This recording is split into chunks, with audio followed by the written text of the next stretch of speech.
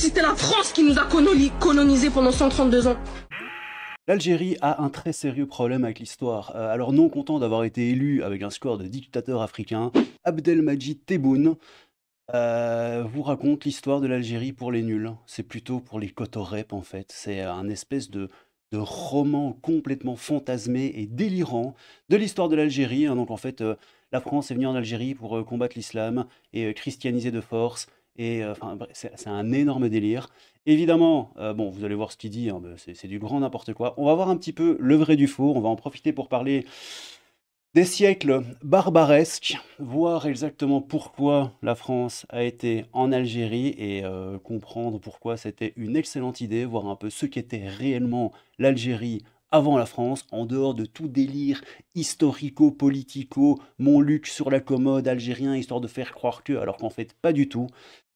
Les cours d'histoire pour les nuls, je vous présente Abdelmajid Tebboune, président de la République algérienne, messieurs, dames, qui nous dit euh, L'Algérie a été choisie pour le vrai euh, grand placement, qui est de chasser la population locale pour ramener la population européenne. Combattre l'islam pour christianiser euh, l'Algérie. Combattre l'islam pour christianiser l'Algérie. Le mec a complètement craqué son slip, c'est n'importe quoi, écoutez ça. L'Algérie a été choisie pour le grand remplacement, le vrai grand remplacement. Chasser la population locale pour amener une population européenne. Combattre l'islam pour christianiser l'Algérie et en faire une terre européenne. Avec des massacres. Avec une armée de chaldis génocidaires. Bon, après, il parle en arabe, je comprends rien et on s'en fout. C'est évidemment du grand, grand, grand n'importe quoi. Alors effectivement, armée génocidaire, hein, c'est pour ça que lorsqu'est arrivé, lorsqu'on est arrivé, hein, les Français, vous étiez 2 millions, et quand on est parti en 1962, vous étiez 10 millions et 40 millions aujourd'hui. Le président algérien, à l'image de son peuple, n'est pas bon ni en maths, ni en histoire. Bon, je pourrais troller, hein, dire que le mec est complètement incompétent et qu'en fait il balance une soupe idéologique aux Algériens pour leur faire plaisir, alors que rien n'est plus éloigné de la véritable histoire. Qu'est-ce donc que la véritable histoire euh, de l'Algérie. Les barbaresques, le siècle, les siècles, parce qu'il y en avait plus d'un, barbaresque les amis. Écoutez-moi ça, la France a conquis Alger en 1830, mandaté par les nations européennes, un congrès de Vienne 1827, pour mettre fin à des siècles de piraterie maritime et libérer des milliers d'esclaves chrétiens. La France n'a pas envahi un pays libre, mais une province de l'Empire ottoman, effectivement, dirigée par les Turcs, qui avaient envahi le Maghreb trois siècles plus tôt et maintenu les tribus arabes et berbères dans un demi-esclavage. Ce territoire ne possédait ni route ni école, la population soumise à la charia était analphabète, il n'existait pas d'hôpital, la mortalité infantile atteignait 50% en 1830, l'agriculture ne nourrissait pas la population, la piraterie était encouragée par les Turcs, les terribles barbaresques, et tu mets la Méditerranée en quête de butin et de captifs pour alimenter les harems et les marchés aux esclaves. La France a créé la nation algérienne en réunissant des tribus éparses, elle a baptisé le département du nom d'Algérie, c'est le décret de Schneider, peur du 31 octobre 1838. La France a respecté la langue arabe et la religion musulmane. Elle n'a imposé ni le français ni le christianisme. La France a scolarisé le pays en construisant des milliers d'écoles, 50 lycées et 4 facultés. La France a soigné les Algériens en formant des médecins et en construisant 138 hôpitaux et des centaines de dispensaires. La France a doté l'Algérie d'une infrastructure moderne avec 5 aéroports internationaux, 23 ports, 4500 km de voies ferrées, 54 000 km de routes. La France a créé une industrie chimique, métallurgique, alimentaire. Elle a construit des usines, des barrages, quatre centrales thermiques et mis en valeur le pétrole et le gaz saharien qui rapportent aujourd'hui à l'Algérie 95-95% de ses recettes. La France a développé l'irrigation, l'agriculture et a les marécages, en particulier ceux de Mitidja, devenue la plaine la plus fertile d'Algérie. Euh, bon, tant qu'on est sur les barbaresques, on va dresser un petit peu mieux le tableau, les amis. Écoutez-moi ça. Parce que oui, ça a duré des siècles, et pourtant si tu vas dans la rue pour demander aux gens, personne ne connaît même le mot barbaresque. Et le scénario type pendant les siècles barbaresques, c'est que toi t'es un paysan en train de paisiblement préparer l'hiver quand tu vois un navire accosté. De ce bateau descendent des gentils musulmans qui viennent massacrer tes parents et capturer tous les jeunes du village pour en faire des esclaves. Ce qui fait que toi, tu te retrouves à ramer toute ta vie jusqu'à ta mort dans le bateau de ces pourris qui vont recommencer à faire la même chose encore et encore. Et ça, c'est si t'as de la chance, parce que si t'en as moins, ils vont littéralement te couper la pour faire de toi un gardien de harem. C'est-à-dire que tu vas pouvoir passer toute ta vie à voir ta sœur et tes copines d'enfance se faire par un vieux sultan dégueulasse. Et je déconne pas, il faisait vraiment ça. Les femmes qu'il capturait étaient destinées à devenir des servantes ou bien des esclaves sexuels dans des harems si elles étaient jolies et les gardiens de harem étaient des esclaves castrés. Mais ils capturaient pas que les femmes, ils capturaient aussi les petites filles. Parce que dans la religion de paix et d'amour, ça fait 1300 ans que le sexe avec les enfants est considéré comme un truc normal. Parce que leur prophète s'était marié avec une petite fille prénommée Aïcha quand elle avait 6 ans et a commencé à la quand elle en avait 9. Et comme leur prophète est leur modèle comportemental, si tu veux faire pareil, Hamdoulillah c'est halal. Et ces saloperies ont existé depuis l'Antiquité, ou plus précisément depuis la naissance de la religion de paix et d'amour. Mais on considère que c'est entre le 16e et le 19e siècle que le gros des razzias a eu lieu. Entre 1 et 2 millions d'Européens et d'Européennes ont été déportés et réduits en esclavage. Et vous savez quand est-ce que ça s'est terminé? En 1830, quand les Européens sont venus coloniser Alger avec le but établi de faire cesser l'esclavage des Blancs et des Noirs. On aurait peut-être pu l'indiquer dans le cours sur la colonisation, vous croyez pas? Aurait peut-être été effectivement une bonne idée. Bon, qu'est-ce que vous en pensez hein? Euh, Est-ce que c'est vrai? Est-ce que c'est faux? Euh, Je vous spoil, hein, c'est totalement vrai. Vous verrez après, on a une petite discussion ici avec un, avec un dégénéré qui dit que, que c'est faux. Euh, ici, on terminera la vidéo là-dessus. Mais il y a deux petites perles de Lugan, Bernard Lugan. Alors qu'il est marqué Bernard Lu- Lugano. C'est Bernard Lugan que vous avez peut-être déjà entendu sur la chaîne ou ailleurs, mais je vais vous le laisser parce que ce sont des petites PLS intersidérales euh, qui font du bien de temps en temps à entendre. Écoutez-moi ça. Bonjour Monsieur Lugan. Bonjour monsieur. En fait, en fait, moi, ma question elle est plus euh, positionnée sur le Maghreb, en particulier l'Algérie. On, Ouais. on entend, on entend souvent que l'Algérie avant 1830 euh, n'existait pas. En fait, euh, je voulais que vous m'éclairez m'é- m'éclairez sur ce sujet. Oui, j'ai écrit un livre sur la question qui s'appelle Algérie, euh, l'histoire à l'endroit. Euh, J'explique, le, le grand paradoxe, c'est qu'en Algérie, nous avons eu des principautés brillantes. Bougie, brillantes pers- euh, euh, principautés, mais qui n'ont pas débouché sur la constitution d'un État. Au Maroc, nous avons eu Fès et Marrakech qui ont débouché sur la constitution d'un empire. Alors pourquoi euh, l'Algérie n'a-t-elle pas débouché sur la constitution d'un État? Bah, Tout simplement parce que l'Algérie a toujours été euh, écartelée entre deux voisins puissants, l'empire marocain et la, Tunisie également, qui est un, qui est, un vieil État qui existait plus à, plus à l'est. Et l'Algérie est passée ensuite directement sous la colonisation turque au XVIe siècle, jusqu'en 1830, et après sous la colonisation française. Et c'est la France qui a créé l'Algérie.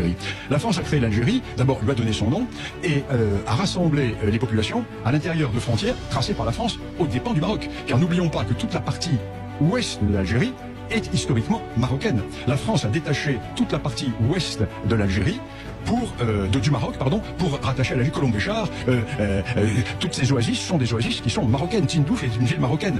Et euh, la France a donc créé l'Algérie a constitué l'Algérie. Et plus encore la France va lui donner le Sahara qu'elle n'a jamais possédé. Pour une raison très simple c'est qu'elle n'existait pas.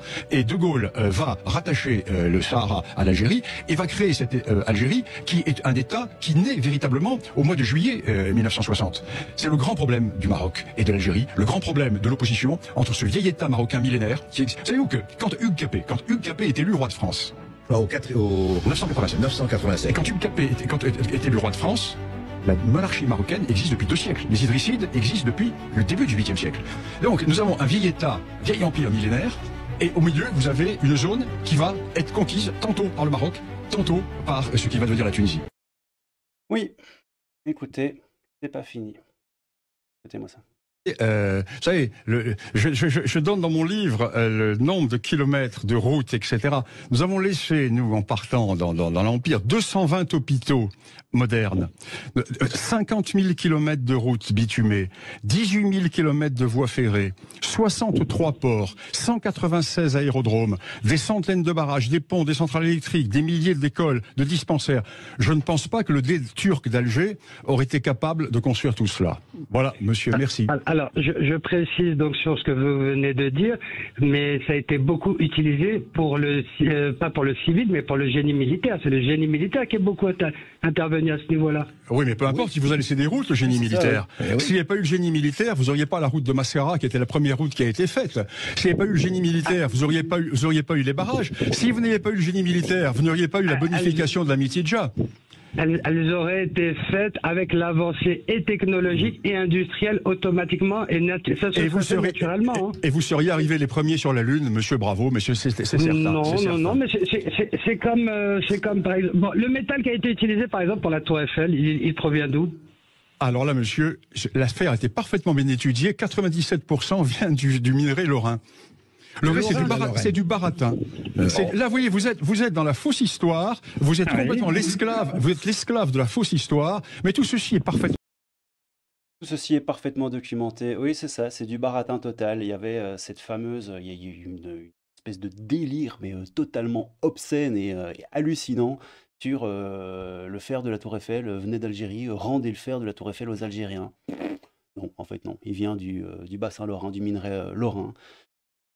Les gars sont, euh, enfin, je sais pas, euh, les mecs, moi, j'ai rien contre l'Algérie en tant que telle, mais euh, je sais pas, enfin, regardez vers l'avenir et construisez votre pays au lieu de, de chouiner du matin au soir. Est-ce que vous chouinez contre les Turcs? Est-ce que vous chouinez contre ceux qui vous ont colonisé pendant toute l'histoire de l'Algérie avant que vous deveniez l'Algérie? Ben non, en fait.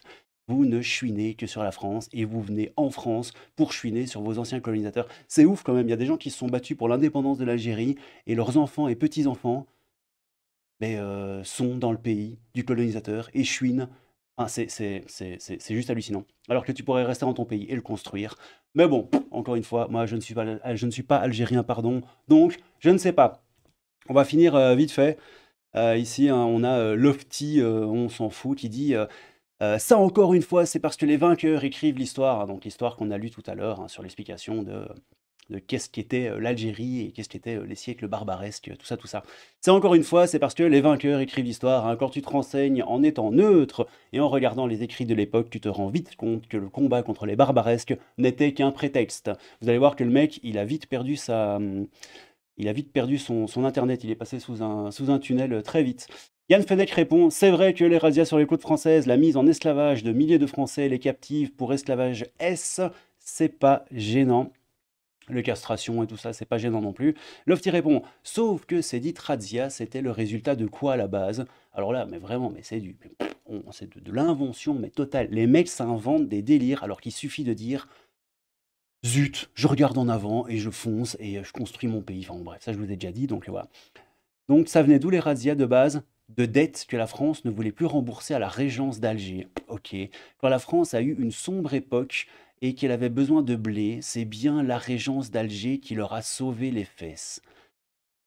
Ok, absolument rien à voir, nous répond Yann Fenech, les barbares s'attaquaient à tous les pays. Effectivement, hein, euh, pourquoi euh, ce serait euh, tous les pays et pas que la France si c'était une sombre histoire de blé et pas juste de on se pointe sur l'océan avec des navires et on fout le Bronx partout où on veut et on met tout le monde en esclavage et on n'en a rien à foutre. Hein. Donc il sort euh, cet article, hein, les campagnes razzias des pirates et corsaires barbaresques se sont étendues le long des côtes européennes de la mer Méditerranée, blablabla, bla, bla, bla, mais aussi au large avec la piraterie contre tous les navires chrétiens. Les pays principalement touchés par les raids et la piraterie barbaresque furent l'Espagne et euh, le Portugal, les États d'Italie, la France, les îles britanniques, les Pays-Bas, l'Islande. Mais dans les faits, toute la localité portuaire européenne, tous les navires non musulmans pouvaient devenir des cibles si la situation le permettait. Yann Fenech, toujours, ils vivaient selon le modèle de leur prophète, un Razzia et Escla YouTube Vage, je ne peux pas dire le mot trop souvent non plus, c'était leur modèle économique. Euh, ici, on a quoi? Entre 1716 et 1754, 19 navires du Danemark-Norvège ont été capturés avec 208 hommes par les Algériens. La piraterie était donc un grave problème pour la flotte marchande danoise. Référence incomplète. Hein. Le Danemark refusant de payer tribut au Dey d'Alger Mohamed Ben Othman, les Danois entrent en guerre contre la régence d'Alger. Ils perdent la guerre malgré leur bombardement et doivent racheter chaque esclave capturé au cours de la guerre à prix lourd. Vous voyez l'Algérien, vous aviez gagné cette guerre-là, c'est beau. Et puis ici encore, hein, ça explique que les navires de commerce américains naviguant dans cette zone commencèrent à subir à partir de 1783 le pillage, la capture des équipages et leur vente sur le marché aux esclaves, etc., etc., etc. Et notre ami, comment s'appelle-t-il euh, Lofty Sideledge est passé sous un tunnel, car a priori euh, c'est très grave, il ne répond plus, il ne sait pas quoi répondre, ou peut-être que juste vu que c'est la haine et le bruit des bottes, ben, il a décidé que ça valait pas la peine de répondre, et probablement qu'il n'a pas lu, et probablement aussi qu'il s'en fout, et probablement qu'il restera bloqué dans sa fausse histoire et dans son baratin, comme disait Lugan, baratin idéologique et histoire claquée au sol. Bon allez, vous en pensez quoi les amis? C'était Teboun qui nous raconte son histoire fantasmée de l'Algérie. N'hésitez pas à vous abonner à la chaîne si vous le souhaitez et à euh, mettre un petit pouce, ça fait toujours plaisir. Je vous fais des petits bisous, je vous aime tous sauf un, mais je ne dirai pas oui, qui sait. Prenez soin de vous les petits loulous, bon dimanche à vous et à ou lundi si la vidéo sort lundi et à bientôt. Ciao, ciao. Créé la France. Tu vois ta tour Eiffel elle a, été créée avec les aciers de l'Algérie. Je me dis la France a créé l'Algérie c'était la France qui nous a colonisés pendant 132 ans. Moi, je vous parle du réel. Quelle était la situation euh, de l'Algérie euh, en 1830 Il n'y avait pas un seul hôpital, il n'y avait pas un seul dispensaire, il n'y avait pas une seule route carrossable, il n'y avait rien du tout. Donc, tout a été construit par les Français. Nous avons laissé, nous, en partant, 220 hôpitaux, 50 000 kilomètres de routes bitumées, 18 000 kilomètres de voies ferrées, 63 ports, 196 aérodromes, des centaines de barrages, des ponts, des centrales électriques, des milliers de d'école. Vous n'êtes pas dans l'histoire, vous êtes dans la mémoire. Et l'Algérie est un pays à l'heure actuelle qui ne vit que pour la fausse histoire qui a été écrite en 1962. Le métal qui a été utilisé par exemple pour la tour Eiffel, il, provient d'où? Alors là monsieur, l'affaire a été parfaitement bien étudiée. 97% vient du, du minerai lorrain.